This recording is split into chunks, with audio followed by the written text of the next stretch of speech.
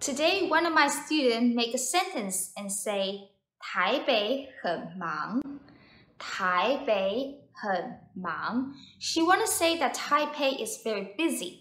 Taipei is a city of Taiwan, the capital of Taiwan. So she wanted to say um, Taipei is very busy. So she translated that in Mandarin and say 台北很忙. And when I heard the sentence, I was like stop for I stop for a moment and translate that back into English and like oh she said Taipei is a busy city but no we don't say that in Mandarin that's not our expression Hello 你好我是 Katrina welcome back to another episode of Smart Mandarin so today as you know we're going to talk about how to say a city or a place is very busy apparently you don't say the word 忙. Mang usually talk about a person is very busy. Like for example, 他很忙, he is busy.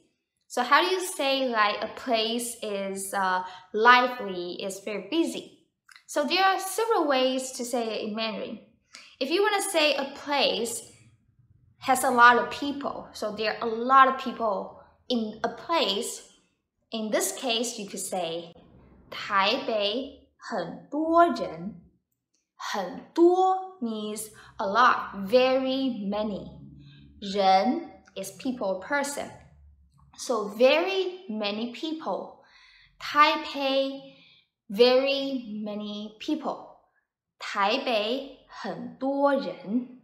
Or you could also say 台北有很多人。 有 literally means to have, means Taipei has a lot of people.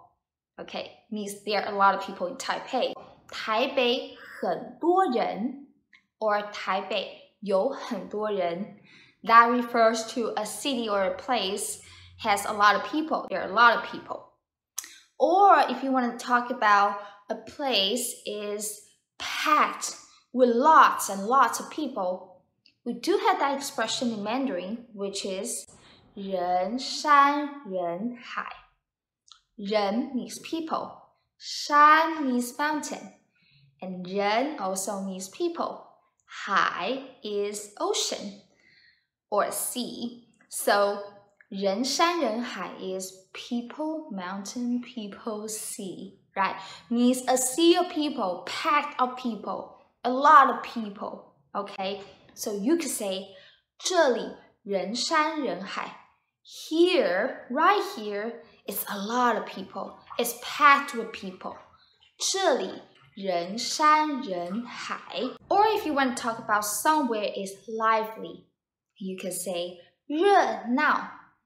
热闹 is an adjective or expression to talk about a place is lively. There are a lot of business and shops and things and going on, a lot of people. So you could say 热闹。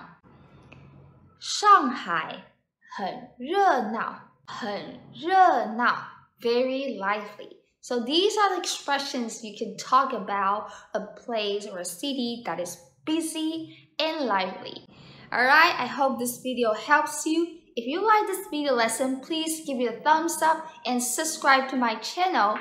If you want to learn Mandarin from the very beginning with my video lessons, I do have two platforms which you can check it out. I put the links down below. I have an online school on Teachable and a Patreon platform where I help my students to learn Mandarin with my video lessons. So if you need that and want to learn Mandarin with video lessons step by step, you should definitely check that out. Until then, I'll see you next time. 谢谢你们，再见。